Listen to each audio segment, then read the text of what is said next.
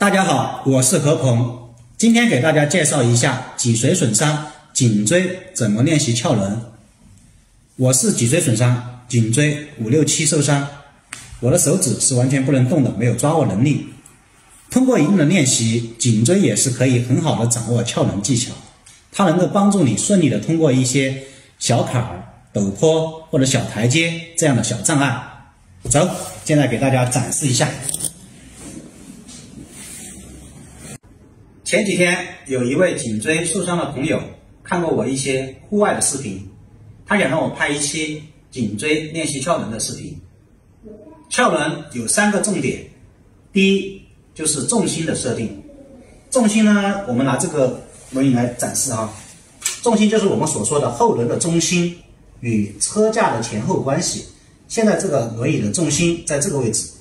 好，重心越靠后，轮椅就越难翘起来。当然，它转向也就越不灵活，转弯半径也会很大。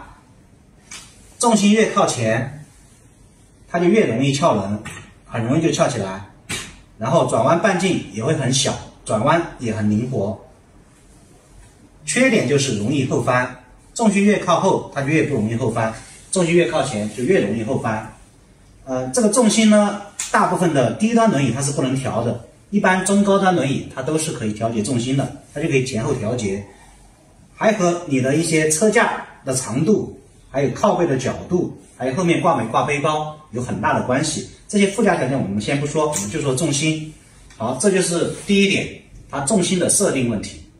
第二点就是推圈套，因为我们的手指不能抓握，所以必须依靠推圈套，用手掌来摩擦推圈套来控制轮椅。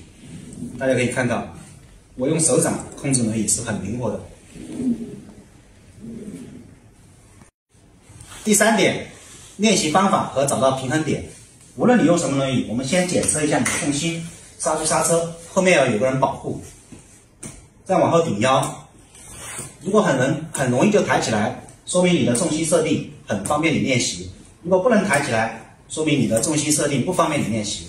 那么不方便练习的情况下，我们需要往后退着。来让它翘起来，手的位置一定要在前面一点，不要在后面啊，前面比较好控制。退，轻轻的推，啊就翘起来了。退，轻轻的推就翘起来了。如果你感觉要翻了，你就往后拉；如果你感觉不够高，你就往前推。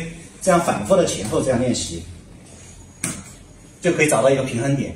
还有，我们要让让它更稳定，就一定要把自己的腰往前拉。我的腰也没有力量，那么用手臂的力量来拉。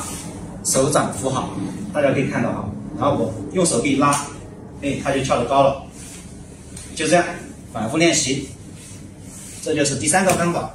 最后总结一下，有三点：第一点就是轮椅的选择和重心的设定，这是一个基础；第二点就是一定要有推圈套，这样我们颈椎手不能抓握才好掌控轮椅；第三点就是反复的练习，在有人保护的前提下，反复的练习。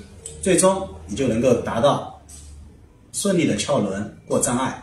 谢谢。